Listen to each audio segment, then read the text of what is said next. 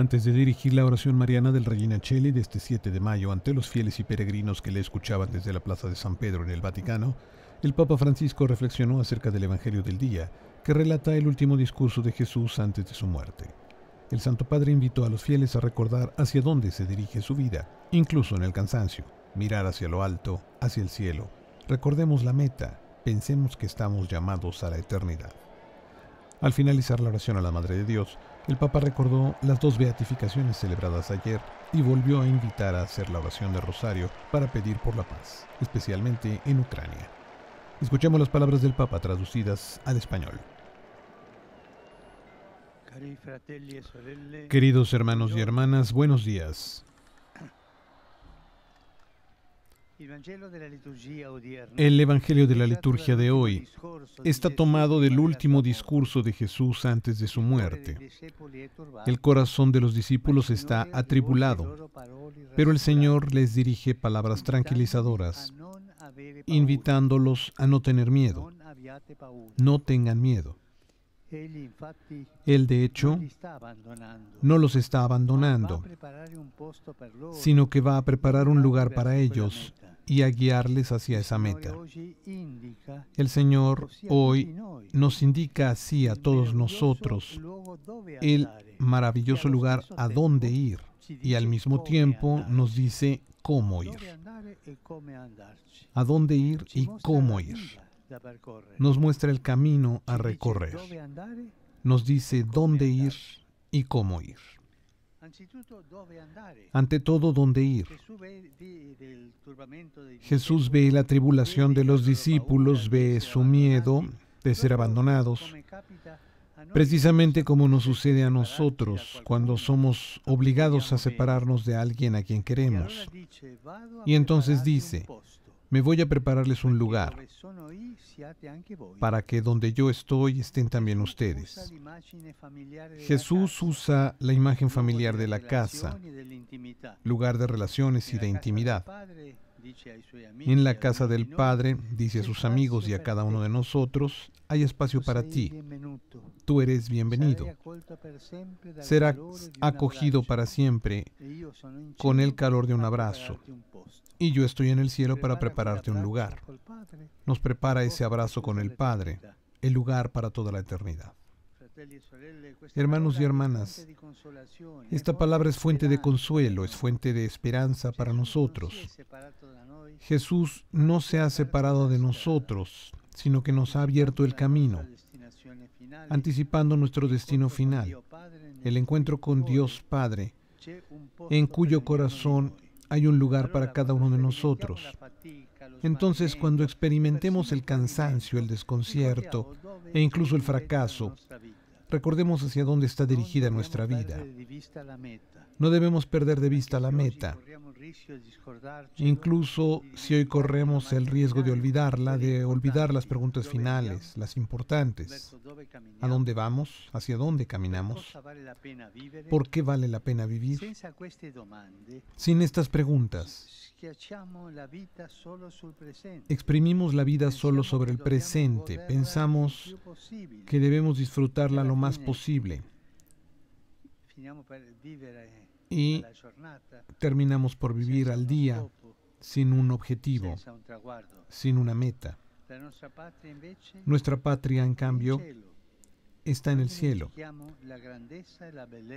No olvidemos la grandeza y la belleza de la meta. Una vez descubierta la meta, también nosotros, como el apóstol Tomás en el Evangelio de hoy, nos preguntamos, ¿cómo ir? ¿Cuál es el camino? A veces, sobre todo cuando hay grandes problemas que afrontar, existe la sensación de que el mal es más fuerte y nos preguntamos, ¿qué debo hacer? ¿Qué camino debo seguir?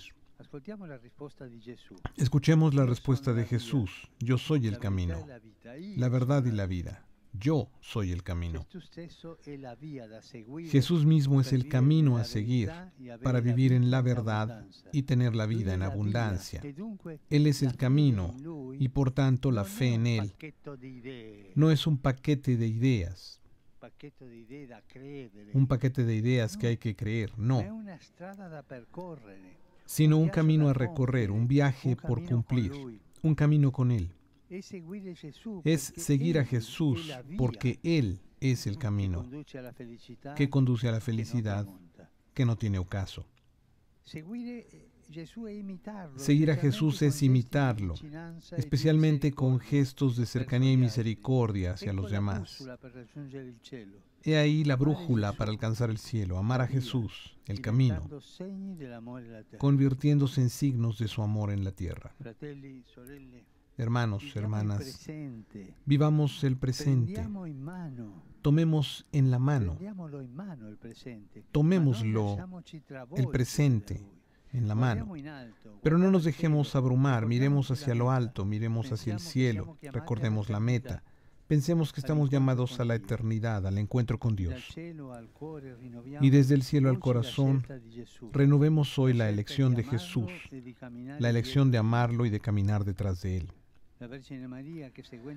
Que la Virgen María que siguiendo a Jesús ya llegó a la meta, sostenga nuestra esperanza.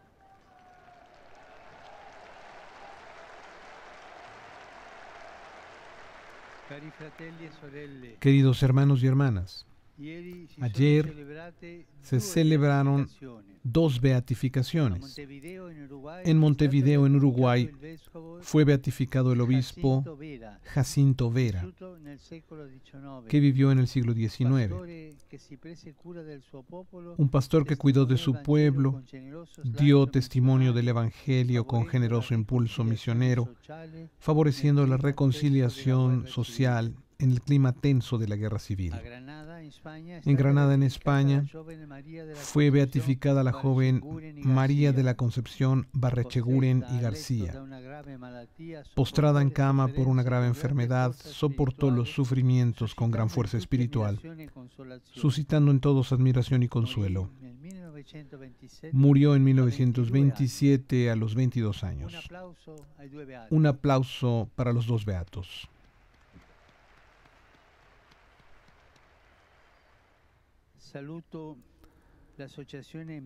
Saludo a la asociación Meter y a su fundador, Don Fortunato Dinotto, que llevan adelante el compromiso para prevenir y combatir la violencia sobre los menores. Celebran hoy la vigésima octava jornada de los niños víctimas. Desde hace 30 años defienden a la infancia de los maltratos y la violencia. Estoy cerca de ustedes, hermanos y hermanas, y los acompaño con la oración y mi afecto. Nunca se cansen de estar del lado de quien es víctima. Ahí está Cristo Niño que los espera. Gracias. Domani a Pompei? Mañana en Pompeya se elevará la tradicional súplica a la Virgen del Rosario en ese santuario que el Beato Bartolo Longo quiso dedicar a la paz. En este mes de mayo recemos el Rosario pidiendo a la Virgen Santa el don de la paz, en particular por la martirizada Ucrania. Que los responsables de las naciones puedan escuchar el deseo de la gente que sufre y quiere la paz.